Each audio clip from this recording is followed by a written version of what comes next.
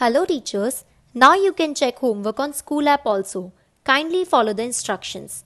Firstly open your school app, then click on the menu option. Then click on homework and assignment option.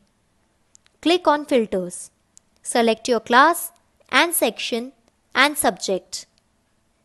Then apply filter.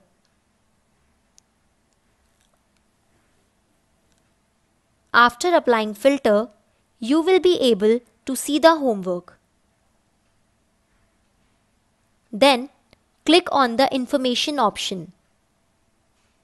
After clicking on the information option, you will be able to see the homework status of the children, whether they are checked or not checked. Then click on the student's name. Then Click on the attachment. You will be able to see the homework. Click on the attachment. The attachment will be downloaded. You will be able to see the attachment.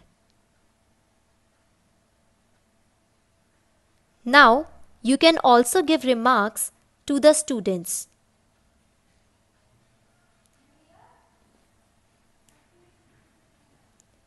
In the remarks option, you can give remarks to the students.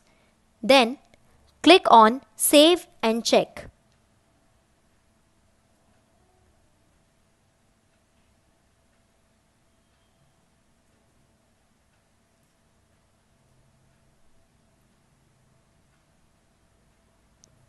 Then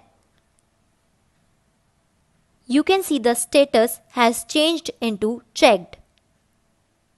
Thank you.